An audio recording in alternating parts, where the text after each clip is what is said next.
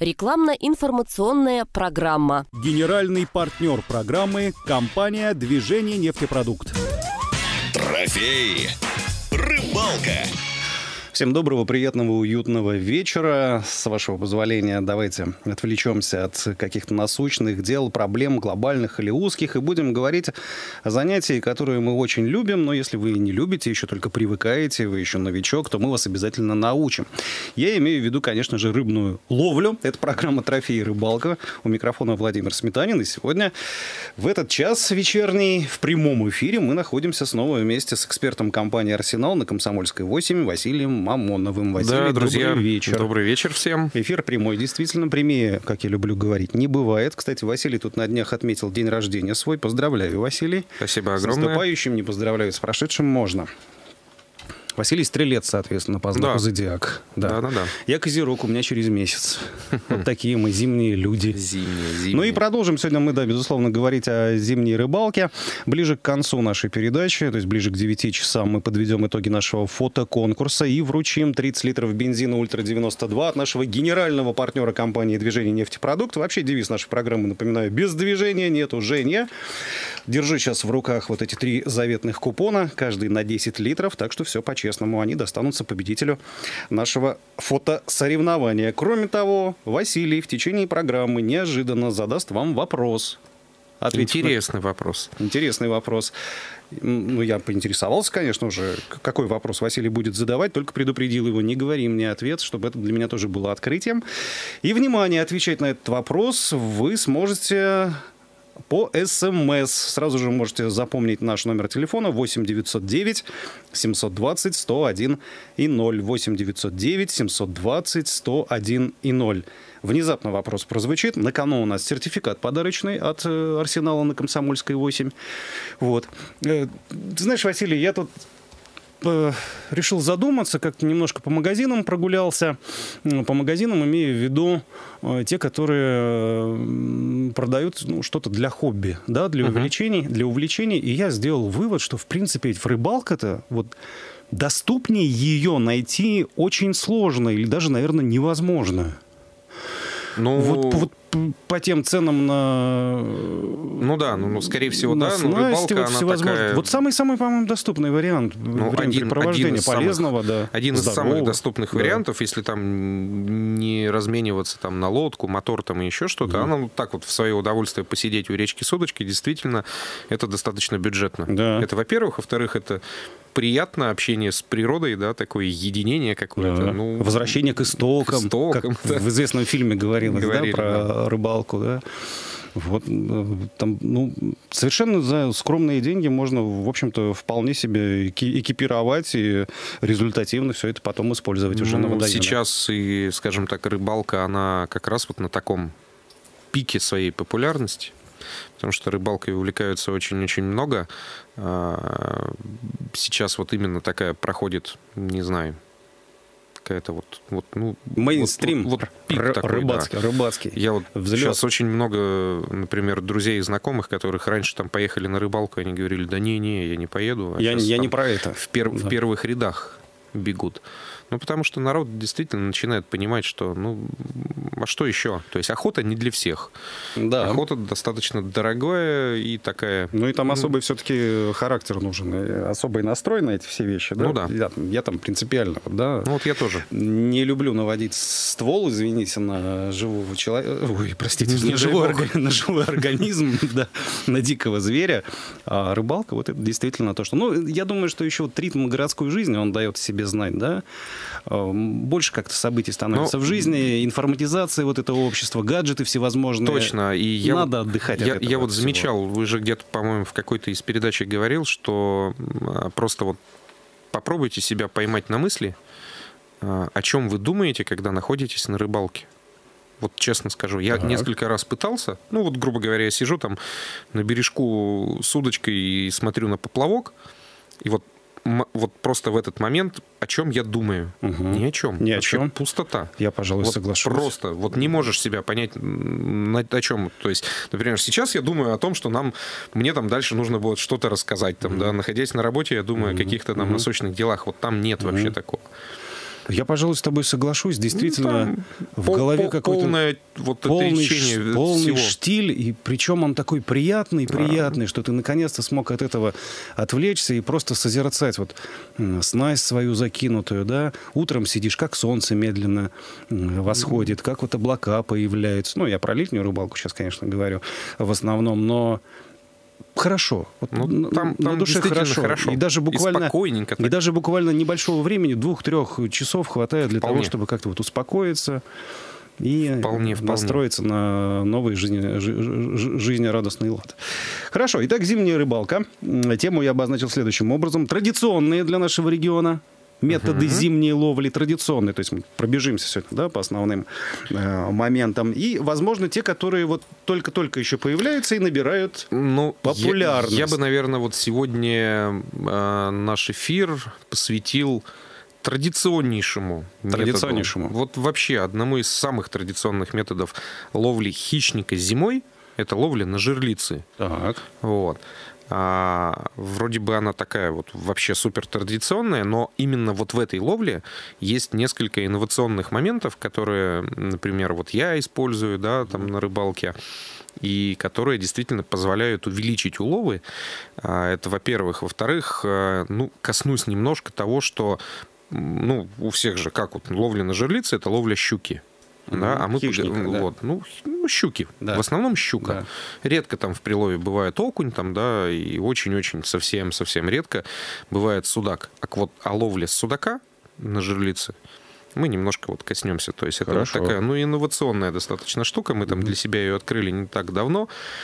А, Причем активно пользуемся. И вот расскажу, как, что, зачем, почему мы выбрали такой способ ловли и для чего он нам нужен на самом деле. Э, Ты знаешь, я знаю немалое количество рыбаков, которые, которые считают жарлицы ну, каким-то вот скучным Во-во-во. видом ловли. Вот, мы сейчас вот, полностью Что там такого раз- интересного? развеем вот этот, вот этот миф. Да. Этот миф. Итак, Поэтому мгм, и поехали. ловля на жерлице. Ну, на самом деле, как я уже сказал, достаточно традиционная такая штука. Вот у меня тут я для себя даже несколько там пометочек себе сделал, да, Подсказочки такие подсказочки себе там написал. А, начнем с того, что а, приходя сейчас в магазин, а, рыболов который, ну, только начинает ловить на жерлицы, либо там, ну, не знаю, там, ловит, но у него там сломались они или еще что-то. Приходя в магазин, он может увидеть огромное количество вот различных конструкций этих жерлиц. Их на самом деле достаточно много. Вот. И начнем с того, как вообще выбрать-то. Какая лучше, какая хуже, у какой есть какие плюсы и минусы и все оставшееся. Дай угадаю, все зависит от задач. Не, И Что, что вы хотите поймать? нет, Нет? нет. Так, тут все То наоборот. есть вот, вот сама конструкция жерлицы, там все просто. То есть у каждой есть там, а, грубо говоря, там катушечка может, да, там быть. Да. А, соответственно, флажок сигнализатор. Сигнализатор. И вот сама вот осно- основание, на что она ставится. Соответственно, первый и самый, наверное, такой популярный вид жерлиц – это платформенная. То есть что она из себя представляет? Это вот такая платформа из пластика, они бывают квадратные, там круглые, какие-то ромбиком, да, там, ну не суть. Вот, на которую крепится стоечка, в которой, на которой у нас есть катушка, вставляется флажочек из металлической такой пластины, достаточно эластичной, и там яркий такой флажок, там красный, оранжевый, без разницы. Вот. Плюсы платформенных жерлиц. Так. Вот плюсы. Во-первых, вот эта сама платформа, она полностью закрывает лунку. То есть мы же ее ставим на луночку. Это раз. Соответственно, ну, свет меньше попадает, да, для рыбы там более естественное Более естественное, да. э, освещение, да, там среда, это Да. раз. А, во-вторых, вода, которая в лунке у нас находится, которую мы просверлили, она закрыта. Соответственно, она меньше будет замерзать, соответственно, у нас а, леска туда не вмерзнет, да, не так вмерзнет, то есть за- закрыта от ветра, Не, ну, это снега. зависит, конечно, от температуры. Но все равно меньше. Мы реально Поменьше, да? замечали в разы меньше. Вот. Это, во-первых. Во-вторых, там, ну, вот одна из таких инноваций снизу на вот эту платформу, когда очень холодно, а, некоторые рыболовы и вот прямо из туристического коврика вырезают такую же штуку и приклеивают ее туда. И вот эта пенка, она реально там защищает, и лунка дольше не замерзает, причем реально намного дольше. Вот. Это второй такой плюс вот этой э, конструкции. И Третий плюс в том, что, например, вот по первому льду, когда у нас, как в этом году было, снега вообще не было Да. да, на льду, вот, такой, вот, вот такой- вот такую лед был, конструкцию да. можно поставить там крошкой вот этого от льда чуть-чуть присыпать, и она никуда не денется. Вот. Следующая, например, конструкция, которая очень часто бывает продается, это такие э, жерлицы, ну, как мы их можно обозвать там, не знаю, на палочке, на шесте. То есть это вот реально вот такая палка, к которой прикреплена катушка, и к ней же, к этой палочке прикреплена пружинка. Плюсы но она реально меньше занимает места. Платформы нету, соответственно. Платформы нет, вот этой, да. да, то есть меньше занимает места. Но очевидные минусы. Лунка у нас не закрыта, это раз. Такую жерлицу, если нет снега, нам не поставить. То есть она ставится, вот у луночки такой сугробик нагребается, в него втыкается и все. Вот. А, Соответственно, вот, вот такие могут быть минусы, но место занимает меньше. Для транспортировки Ну, для удобнее. в транспортировки общем, да. удобнее, Да. катушечка убирается, все там вот палочки, флажочки сложили, катушечки отдельно. А, еще одна из популярных конструкций это а, такие жерлицы на треноге. Да? То есть вот у них такая тренога, она сделана из пластика, либо может быть сделана из металла. Да, она складывается, то Складывается. есть они тоже такие Тоже можно. достаточно Ага. а, компактные, комфортные, но опять же очевидные минусы в том, что такие жерлицы, если, например, мы поставили их по голому льду и там дует ветер, они улетают на раз-два, опять же лунка не закрыта, А, ну такая, скажем так, интересная, хорошая конструкция, но вот тоже рисков си- сильно, много, сильно да. не прижилась, сильно не прижилась, вот. А, Поэтому вот если, ну это вот основные таких три, Три, вида. да. А, Если едете, например, на рыбалку и у вас жерлицы это не основной вид ловли, ну так вот, чтобы поставить, а вдруг поймаю, то существуют жерлицы а, подледного типа.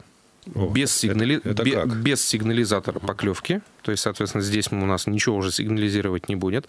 Такие жерлицы очень часто, например, ставят там на реке, когда ловят налима, да, ночью, а, чтобы там ничего не вмерзало. То есть там конструкция совершенно простая. То есть это вот такая вот планочка, сделанная из пластика, да, в виде такого мотовильца. На нее намотан, ну вот наматываем леску. Леска. Здесь есть такая прорезь, и все. Мы, соответственно, на эту жерличку берем, отпускаем воду в лунку, и нам нужна палочка, которая ставится поперек. От этой жерлицы идет петля из веревочки. Мы сюда надеваем, в лунку отпустили, сколько нужно там нам леска Смотали. стра- стравили, зафиксировали, и все, она у нас стоит в лунке. Плюсы в чем? Вообще не занимает места. Ну, то есть там 5 жерлиц, они вот, вот, вот такой вот пакетик маленький. В одной руке А, легко вот, то есть они одной, да. Абсолютно не занимают места. А, Значит, простота в установке. У нас нет никаких там сигнализаторов, на них абсолютно не действуют там внешние погодные условия, их не сдувает ветром, ничего. Минусы, ну, мы не, не видим сам момент поклевки, то есть это, вот это действительно такая очень пассивная снасть будет. Вот. И минус в том, что чтобы снять эту жерлицу, да, потом нам на- надо с собой, помимо, там, например, ледобура, обязательно носить какую-нибудь маленькую пишню, потому что 100% лед замерзнет в лунке, там Корочка нужно будет да, да. раздолбить ее, там, достать и все. Вот.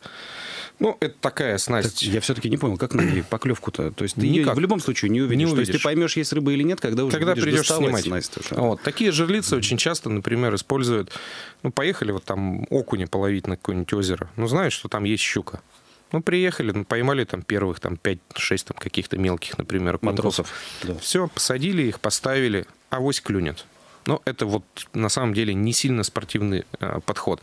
А по поводу того, что жерлицы не спортивные, ну, вот здесь я сильно разв- вот этот миф развенчаю. Ну, начнем с того, что на одного рыболова по правилам спортивного рыболовства в Кировской области разрешено не более пяти жерлиц. Чем это обусловлено? Ну, потому что дальше это уже реально промысел. Браконьерство Ну, браконьерство да? считается. То есть разрешено 5 жерлиц. И вот на самом деле, приезжая на водоем, там, когда на одного человека там ставят 20-30 жерлиц, а если это на реке, то, ну, скажем так, сильного урона мы не принесем, потому что рыба там постоянно возобновляется, она там движется, У неё приходит. большая акватория Вот. у нее, да. А если это небольшое озеро какое-то, то там реально жерличники, очень-очень много щуки, ну, просто истребляют. То есть, потому что там 50, 60, там 100 жерлиц, поставленных на небольшом озере, шансов хищнику не оставляют вообще. То есть она так или иначе там скушает, да, эту, этого живца, ее там вылавливают огромное, поэтому вот так, друзья, на самом деле поступать не стоит. Ну, Закономерный вопрос за этим кто-то следит за количеством э, поставленных жерлиц Ну, у конкретного рыбака? Может, инспектор? Инспектор-то? Да, э, рыбнадзор. Ну, да, то есть, если вы приехали компанией там, в 20 человек, то без проблем 100 жерлиц вы можете выставить. Если у вас на водоеме находится двое и стоит И там сотню жерлиц? 100 жерлиц, то за это по головке точно не погладят.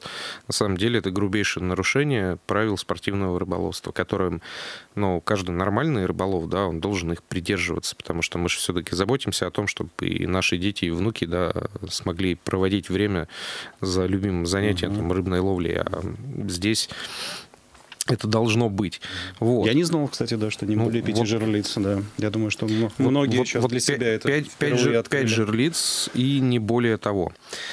А, дальше, значит... Ну, мы назвали основные типы жерлиц, уж- мы уж не говорим о, о тех, которые можно самостоятельно сделать. Там ну, все, что- все что угодно. Но принцип это, тот же. это- принцип Да. тот же. Это вот то, что продается в магазинах, Да-да-да. и то, что в основном а, пользуется спросом. А, дальше, из плюсов, а, если на жерлице, вот есть жерлицы, у которых катушки пластиковые, а есть металлические, обязательно выбирайте пластиковую катушку. Примерзание, опять же, да, фактор. Примерзание раз. Во-вторых, а, как правило, жерлицы мы устанавливаем всегда с голыми руками. Пластик теплее. Пластик теплее, металлическая катушка очень сильно холодит. Вот. По оснастке там, опять же, все достаточно просто. Это вот, возвращаясь к вопросу, что рыбалка-то на самом деле может быть не очень дорогим. А, Например, там 5 оснащенных жерлиц, это вот реально там, не знаю, в 500 рублей можно уложиться. То есть там вообще все недорого. Нам нужна леска, нам нужны- скользящие грузила, так называемые, оливки, да, вот такие, а, вертлюжок с застежкой обязательно, поводок и крючки. А, леску, вот обязательно мы здесь используем только монолеску. Никаких плетенок туда мы не ставим, потому что плетенка обмерзает сильнее, это раз. А, во-вторых, э, толстую плетенку ставить нет смысла. Тонкая плетенка, мы же рыбу-то вываживаем здесь руками, у нас нет никакого удилища, ничего. Ну, реально можно руки себе очень сильно повредить, если клюнет трофейная рыба, ну, изрежем все. Не стоит. А то, что она клюнет, шансы велики. Вот, мы, соответственно, используем обычную стандартную монолеску, а, которая, помимо того, что меньше обмерзает, а, у нее есть еще один огромный плюс, который вот для жерлиц нам важен, там, например, спиннинговой ловле он будет минусом, она очень хорошо амортизирует рывки рыбы за счет того, что она растяжима, растягивается. А, Соответственно, когда мы подводим крупного хищника к лунке, на нерастяжимой леске велик шанс того, что она сойдет, на той, которая, скажем так, поддает, да, там достать рыбу будет проще. Давай, Василий, по параметрам от оснастки еще немножко пройдемся. Леска, диаметр. Ну, основные диаметры, которые используем, это, наверное, тут мельчить сильно не стоит. М, Вот 0, от 0,3 до 0,4. В редких 0,35, серединочка да, ну, подойдет, да? в редких случаях можно ставить леску там 0,6, если мы точно знаем, что там прям крокодилы клюют. Ну, бывает такое. Люди приходят, покупают и говорят, у меня там щука, которая все обрывает, мне там ее нужно поймать. Вот берут достаточно толстую леску. Но максимум, я вот, который пользуюсь, это там 0,35-0,4, вот такой. Достаточно. Достаточно. Да. Причем практически у любого хищника можно достать там по весу без проблем. Поводки. Вот, по поводу поводка. Здесь нам обязательно нужно поставить поводок, который будет сочетать в себе качества такие, что он будет минимум деформироваться, да, потому что щука, когда она заглатывает, если поводок там будет, ну вот там всеми любимый там и достаточно недорогой вольфрамовые плетеные поводки, у них есть плюс цена, достаточно бюджетно, там в пределах 10 рублей их там можно приобрести. А, Вот. А Потом они очень мягенькие, но они деформируются. То есть их там после каждой поимки реально поводок нужно менять. Надо менять. Вот. Соответственно, поводок должен быть э, максимально эластичным и, скажем так, э, максимально надежным и длинным, потому что на жерлице хищник может достаточно глубоко заглотить. Ну, мы вот в последнее время, например, пользуемся титановыми поводками. То есть достаточно, Есть и такие? Да, они достаточно тонкие, они абсолютно лишены памяти. А, Титановый поводок То есть э, не деформируется, не то деформируется, ни в ничего какую- с ни в не какую происходит. сторону. У него есть минус, он достаточно дорогой, но, скажем так, жерлица зацепляется максимально редко. Если мы не ловим там в каком-то жутком коряжнике, да, То есть э, риск потерять его невелик. Невелик. Да. Вот. По поводу в коряжнике, вот как ловить жерлицами, чуть дальше тоже коснемся, потому что не все ловят, не все ставят там жерлицы, а там есть свои определенные нюансы, которые а, существуют. Вот, соответственно, вертлюжок нам обязательно нужен, он, как правило, существует уже на поводке, нужен для того, чтобы у нас живец там не перекручивал нашу основную леску. А, грузило мы выбираем скользящее. Скользящее почему? Потому что а, когда щука заглатывает живца, чтобы она не чувствовала веса, да, соответственно, она сдергивает, все, там груз идет по леске, она разматывает, она не чувствует веса, подвоха живца не выплевывает. Оливочка стандартная или там э, тоже Да, стандартная, стандартная регулировать? оливка по весу, ну, максимум, вот я использую 12 грамм. 12. Ну, вот у меня в районе 10 мысли Вот от, мелькает, 8, да. от 8 до 12 самое оптимальное. Но здесь, опять же, нужно учитывать размер живца. Если мы ставим там живцов с ладоху вот таких здоровых, там можно оливку потяжелее, потому что легкая просто не утопит, он там будет подниматься там за счет этого. Ну, вот в среднем от 8 до 12 грамм самые ходовые А веса. характер реки, течение, глубина тоже Вот, этого, да? мы дальше Да. поговорим. А дальше? На течении жерлицы практически никто не ставит. Ну, это реально там не сильно рабочая снасть на течении. Но мы вот, например, придумали, как ловить судака, и нам очень нравится. Ну, об этом чуть-чуть, попозже. чуть-чуть побольше, попозже. Значит, по крючку там стандартно можно использовать, кто-то использует там одинарники, тройники, двойники. А, Например, выбор 80% рыболовов, которые ловят а, на жерлице, это двойник. Объясню почему. На тройник щука очень часто натыкается и кидает приманку. Двойник с этой точки зрения чуть интереснее. Он очень хорошо засекает, и используя двойной крючок, мы можем живца насадить двумя методами, двумя способами. Самый стандартный это вот под плавничок сверху, да, там проколоть. А если мы, например, ставим жерлицы и следим за ними, за поклевками, да, вот именно видим, что у нас там сработал флажок, и мы бежим, а, ну вот в большинстве своем я ставлю под э, плавничок. Если мы, например, оставляем жерлицы на ночь, а такое бывает, мы приехали там, например, с ночевкой на какое-нибудь озеро, Ну, правда, А. ночь длинная. Ну, хотя есть тут, да. вот. Ставим, ставим, ставим жерлицы, и, соответственно, там мы живца насаживаем через жабру. То есть берем... Покрепче, да, что? Нет, Или там, в чем смысл? Там смысл в чем? Если у нас э, насажен живец под плавничок, ну, щука, она всегда атакует поперек приманку. Ну, вот живца, Ну, берет там, и рыбку, всё, все. да. Она ее атакует поперек, потом с ней какое-то время плывет, разворачивает и заглатывает. И вот в этот момент, например, это очень четко прослеживается. У нас произошла поклевка. Ошибка многих начинающих рыболовов, которые ловят на жерлице, вот у них происходит И сразу же флажок, они да? подбегают, сразу дергают, все. 90% что рыба не поймается, потому что реально вот она только ее взяла, мы выдергиваем, либо живца выдергиваем, либо оставляем живца в пасти рыбы и выдергиваем крючок. Там четко видно. Вот она схватила, и у нее первая фаза, она начинает достаточно активно разматывать катушку. То есть она разматывает, разматывает. Потом такая фаза, вот она останавливается. Все, она перестала мотать. Вот здесь тоже рыболовы вот, думают, все, она уже заглотила. Начинают подсекать, подсекают, и опять ничего нету. То есть следующая фаза, вот она остановилась, она может быть достаточно длительная, опять же, зависит от размера живца. Она там какое-то время постояла, и потом она вот медленно начинает плыть. Вот в этот момент нужно совершать подсечку. То есть это говорит о том, что щука уже заглотила, развернула живца, и все, и начинает его есть. И, соответственно, как правило, в этот момент мы производим подсечку, и крючок у рыбы оказывается в верхней челюсти. Ну, это вот уже просто там по опыту. Э, Опытом выяснено, Вот. да. Опытным путем, да. А, Соответственно, если дальше чуть-чуть подождать, дальше чуть-чуть подождать, здесь велика вероятность того, что щука наколется вот как раз на крючок, и она просто выкинет живца. Поэтому, когда мы оставляем жерлицы на достаточно длительный период времени, а, либо мы, например, там на ночь их поставили, либо мы приехали с утра, там оставили их и не хотим вообще за ними следить, то здесь мы надеваем живца через жабры. То есть там есть особенность. э, Мы берем поводок, на котором нет карабинчика, вот жабру у живца чуть-чуть приоткрываем, просовываем поводок, затем вдеваем крючок и засовываем обратно. У нас крючок получается во рту у рыбки.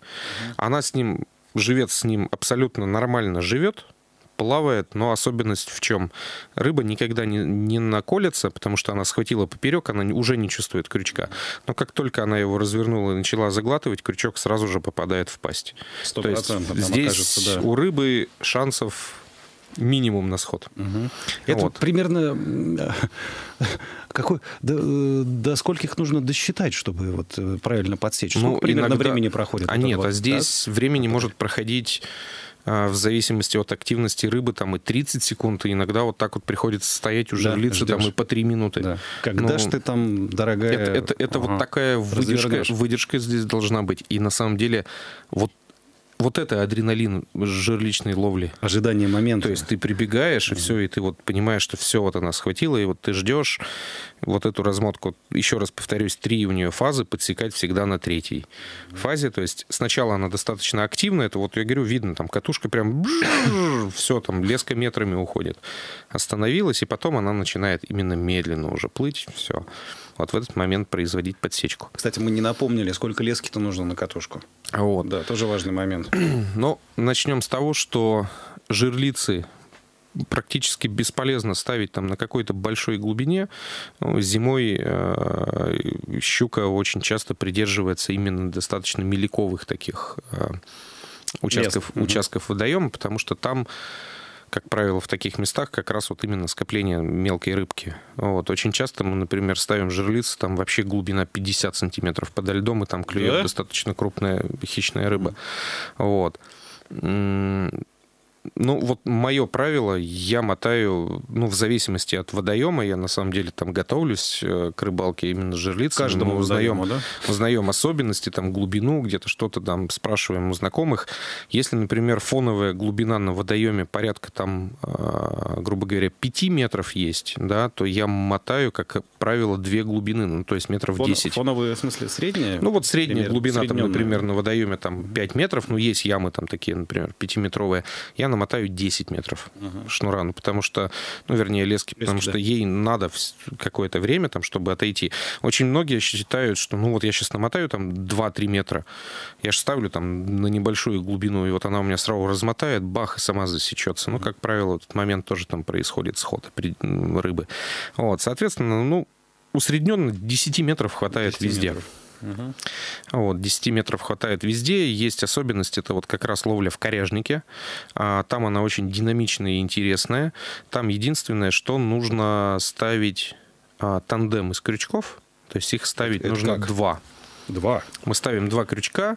Один крючок мы втыкаем живца ну вот под э, верхний плавник, угу. один под верхний плавник, а второй маленький крючочек, то есть на маленьком вот таком поводке от основного крючка, он втыкается ближе к голове, вот так вот в брюшко.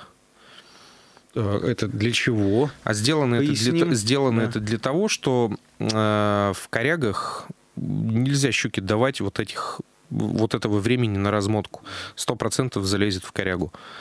Вот, и там мы делаем подсечку, ну вот фактически у нас вот жерлица только начала мотать, мы сразу подбегаем и, и вот подсекаем. Надо уже сразу, да. То есть и вот, как правило, вот этот второй крючок, он успевает зацепиться.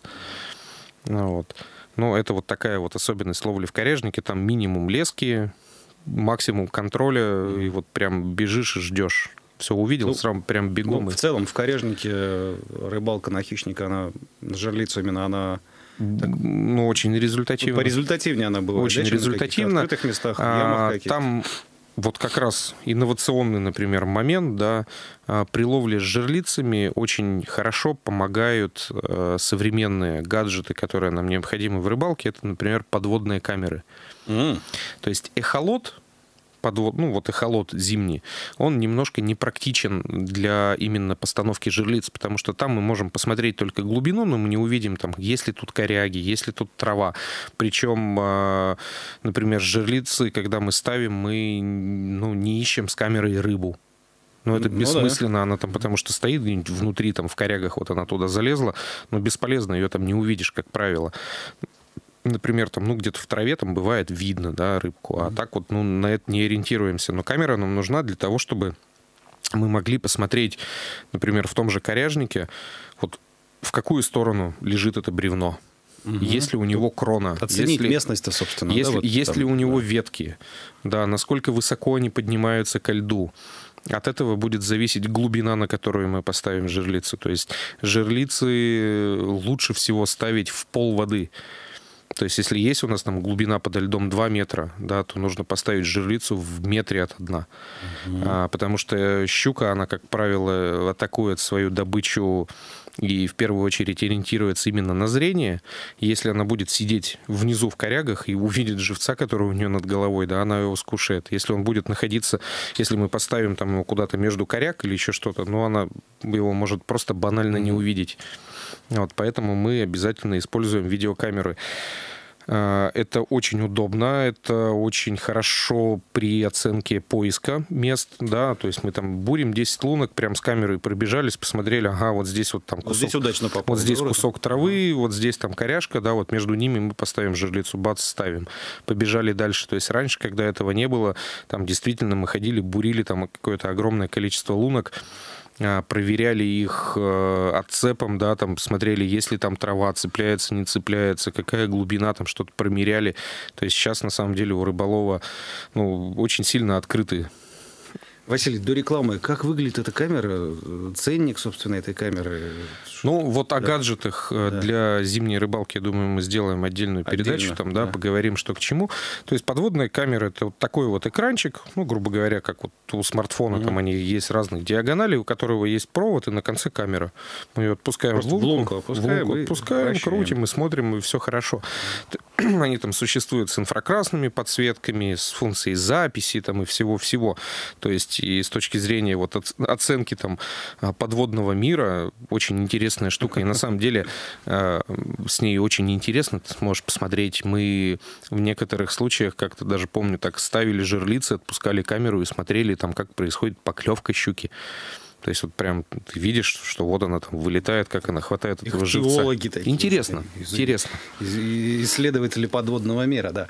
Это программа «Трофей рыбалка», я напоминаю. Мы сегодня говорим о ловле, о зимней ловле рыбы с помощью жерлиц. Василий Мамонов, эксперт компании «Арсенал» на Комсомольской 8. Сейчас будет реклама. Не забывайте, что у нас еще два конкурса. Впереди вручение 30 литров бензина «Ультра-92» от нашего генерального партнера движения «Нефтепродукты». И не за горами вопрос, который озвучит Василий Василий, ответив на который вы сможете получить подарочный сертификат от э, магазина «Арсенал» на Комсомольской 8. Номер для ответов, напомню, для смс-ответов 8 909 720 101 и 0. Прерываемся и скоро продолжим. Рекламно-информационная программа. Генеральный партнер программы – компания «Движение нефтепродукт». Трофей. Рыбалка. Рыбалка на жерлиц сегодня основная тема наша. Тема программы «Трофеи рыбалка». Василий Мамонов, эксперт компании «Арсенал» на Комсомольской 8. Меня зовут Владимир Сметанин. Василий, да, давай вопрос. Прямо сейчас. А давай, угу. а давай. 8 909 720 101 0. Напоминаю, номер нашего телефона. Отвечайте с помощью СМС. Сертификат подарочный от компании «Арсенал» вам достанется в случае правильного ответа. То есть первый правильно ответивший вы и получит. Мы сегодня... Э, новшество у нас такое. Мы сегодня без вариантов задаем Варианты вопрос. не даем? Да. Вот сейчас я думаю, что оставшееся время нашей программы мы будем зачитывать ответы и их комментировать. Ну, хорошо. Какая на, название снасти, которая специально придумана для ловли в проводку на течении? Как называется? Снасть? Специально, Специальная для, для ловли в проводку на течении. Это одно какое-то слово? Да. Одно слово? Да. Так, пожалуйста. 8 909 720 101 0. Ну, а мы едем дальше. Мы пошли дальше. Да. Значит, э, мы закончили на том, что ну, используем там видеокамеры и да, все, да. все такое. То есть это понятно, что мы делаем на водоемах э, без течения. Вот. Но последнее время мы начали ловить, вот мои друзья, я в, там, в том числе, да, мы начали ловить жерлицами на течении. И причем нетрадиционно... Не... Опровергаете все да, устоявшиеся немножко, стереотипы. Не, немножко нетрадиционную для жерлиц рыбу а, мы ловим судака. То есть там жерлица э, точно такая же конструкция, ничего не поменялось, но там есть особенности именно оснастки. А если в стандартной жерлице, которую мы ставим на водоеме без течения, мы там используем достаточно легкий грузик оливку, угу. и у нас идет оливка, а потом поводок, и вот потом живец то на течении мы снасть немножко модифицировали. То есть у нас Вы идет, груз на дно кладете, наверное. У нас есть да. основная леска, основная леска, да, который привязан достаточно тяжелый груз, а мы его уже подбираем в зависимости от силы течения, но на самом деле здесь э, такое правило лучше больше, чем меньше, чтобы не сносило. То есть угу. мы используем там груза, бывает и 100, и 150 грамм, то есть вот такие свинцовые а, прям блямбочки. А поводок, поводок здесь мы используем а, из флюрокарбона, это что такое? Это специальный поводковый материал. А, он выглядит как обычная монолеска, но а, он сделан именно вот в торкарбон. Во-первых, он очень жесткий, угу. раз. Его не обкусывает щука, а, которая может попасть в прилове, да, но ловим-то мы судака. Вот. И за счет того, что а, вот этот материал, он там имеет какое-то определенное преломление в воде, он практически невидим в воде. Угу. То есть вот рыба его не видит. А, мы используем поводки там длиной сантиметров 50, которые у нас вот груз на дне, а поводок у нас привязан выше.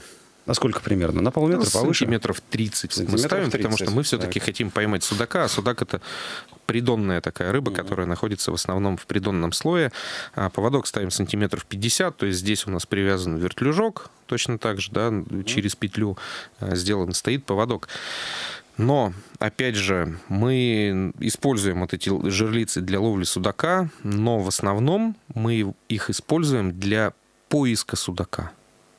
А, видимо, снасть для его поимки будет потом уже другая. Будет другая. Угу. А, ну, хорошо, что если он, например, здесь попадется, но мы с помощью вот этих жерлиц ищем судака. Что мы делаем? Мы, например, приехали там на водоем втроем, вчетвером.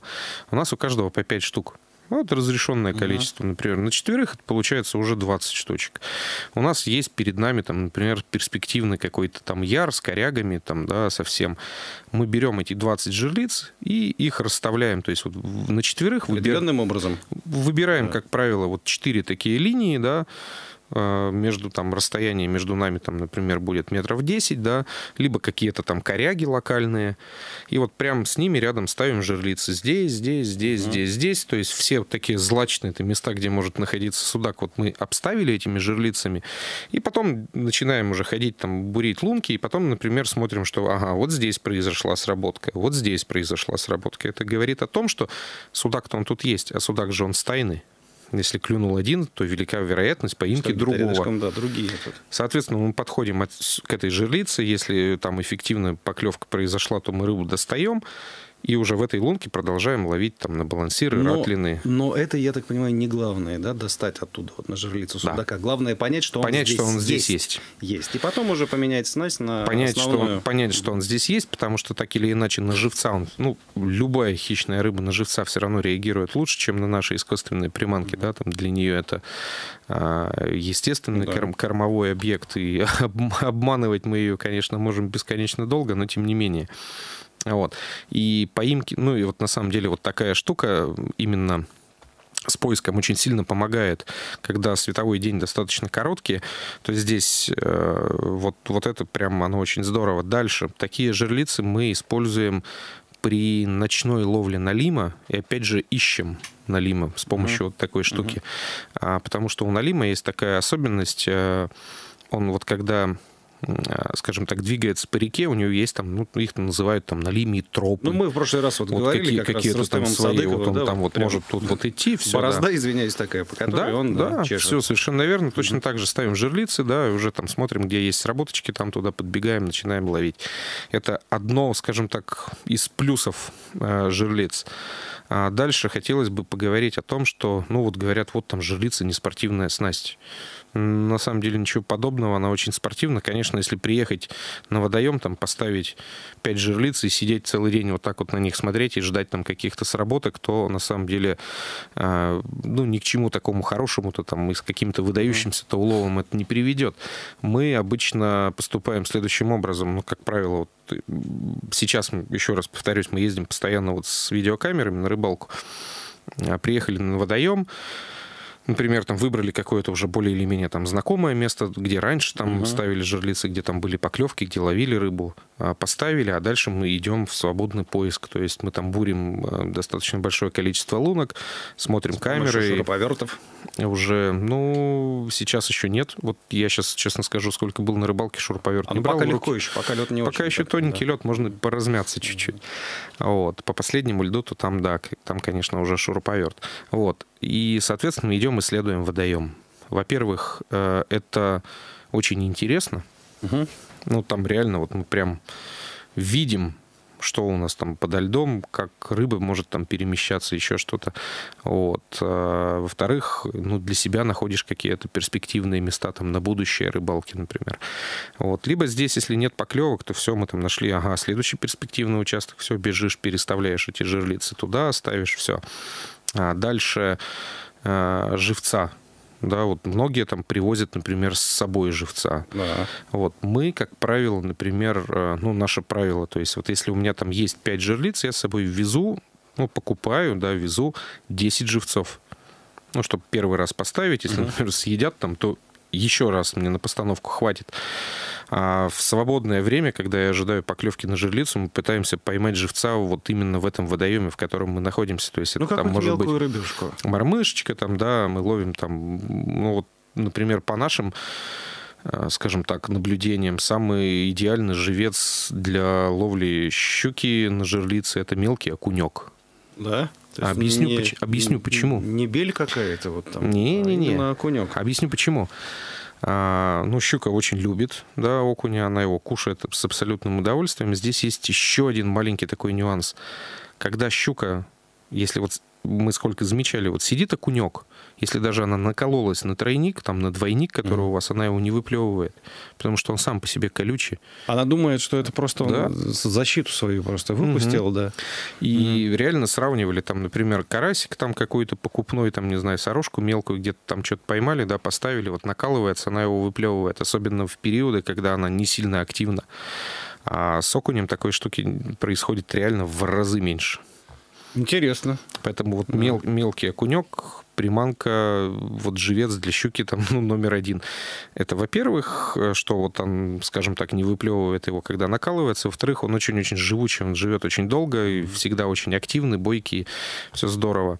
Привлекает а, взгляд. Да хищницы зубастой. Вот. Василий, я предлагаю еще раз напомнить э, наш вопрос. Я напоминаю номер для ваших смс-ответов 8 909 720 101 0. Я предлагаю сейчас Василию насчет вариантов подумать параллельно.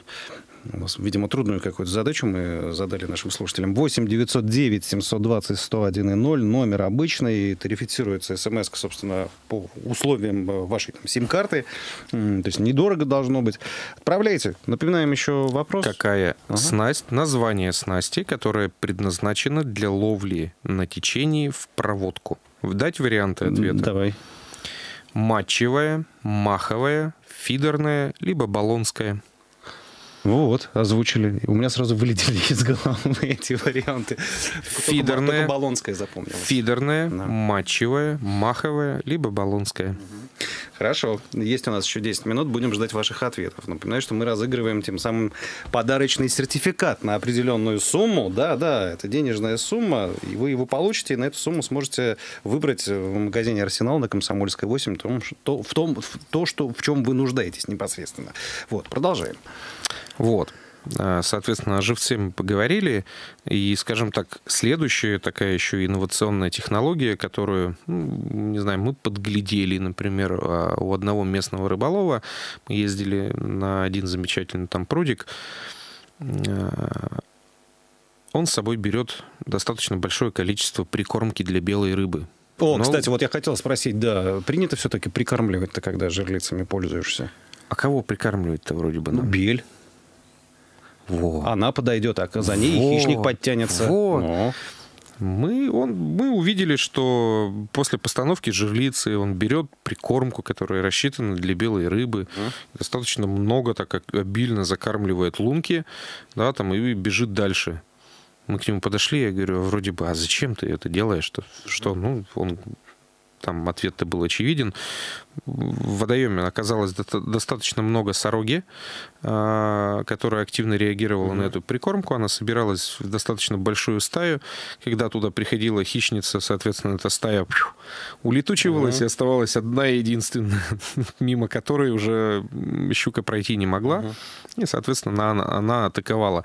А в тот день если посмотреть количество поклевок там наших и у местного, скажем так, рыболова, Рыболов, да. ну там было где-то, наверное, соотношение там одна к четырем. О, То есть в его пользу, соответственно. В его пользу. Да. И после этого мы всегда возим с собой прикормку. Ну, там может быть абсолютно любые сухие смеси, которые продаются. Ну, но либо... они, по-моему, зимние специальные они есть. Или там нет? можно абсолютно для холодной вот Мы очень часто пользуемся обычной манкой. А, вот прям обычная, которая манку, в любом продуктовом магазине Манку насыпал, да? вот в луночке размешал ее, она медленно начинает оседать, угу. падать такой вот именно большой э, Пеленой, так, завесой. Такой, за, завесой, да, да, вот это, и все, и на нее приходит активно мелкая рыбешка. Угу. Мы прям смотрели, опять же, в камеру, видели, как это все происходит. Прям такая, как в аквариуме зрелище. Угу. Если поговорить о, не знаю, времени суток на зимней рыбалке, когда вот именно жерлица наиболее эффективная, это может быть люб, любой промежуток? Любой промежуток времени. И днем, и вечером, любой. и утром, и всегда.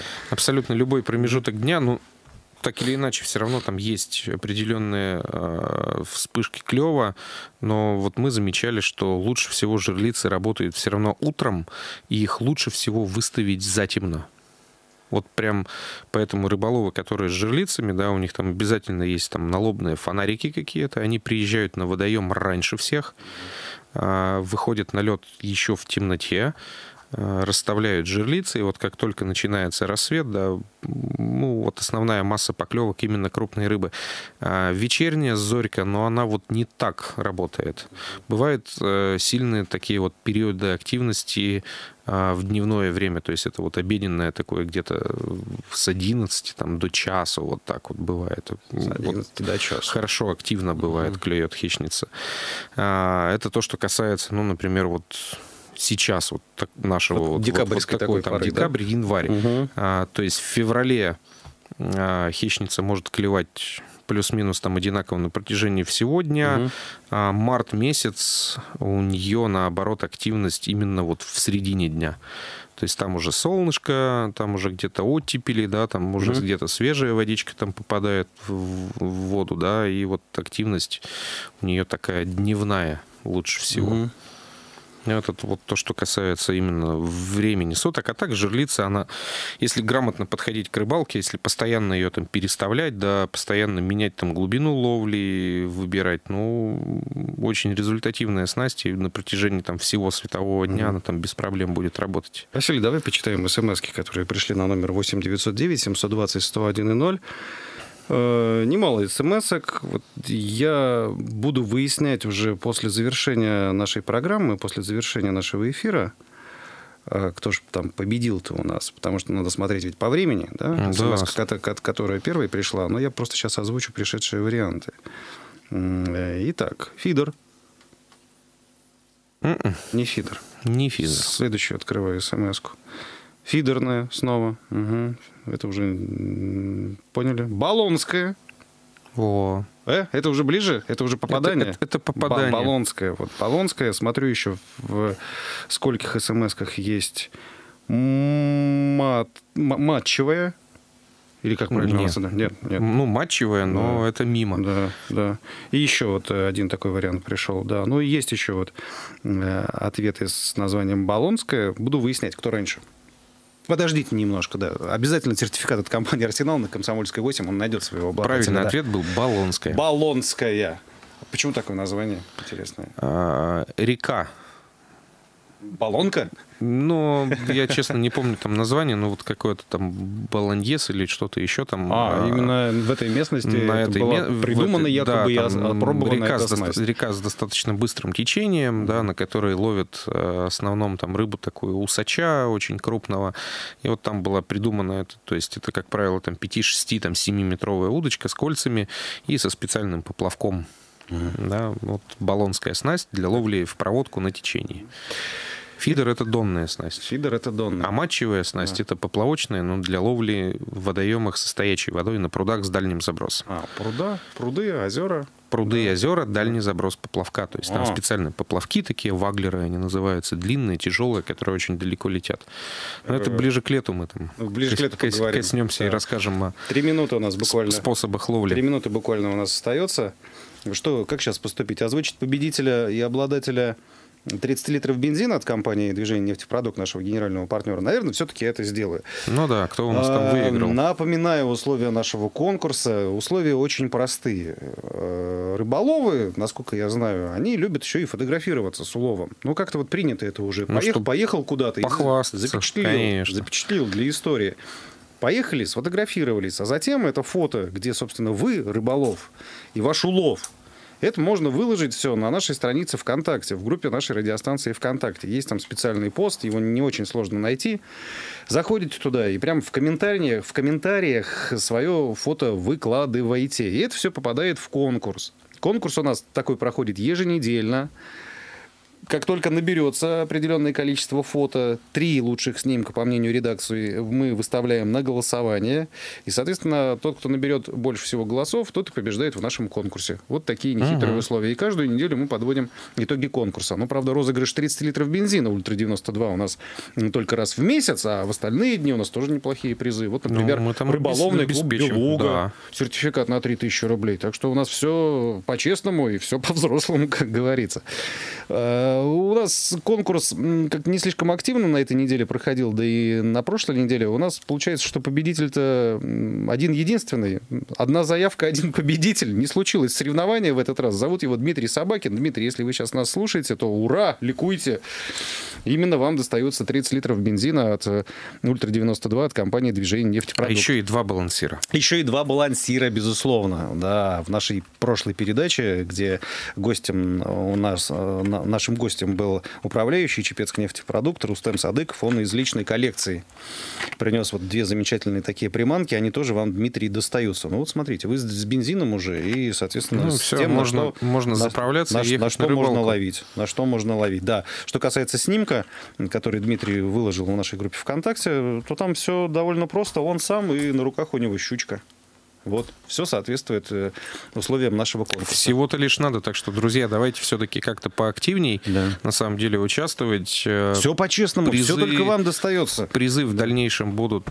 Я Ставки точно- будем увеличивать. Ставки будем увеличивать. Когда-нибудь, если доба- разыграем. Добавлять. Василий. Ну, почему бы нет?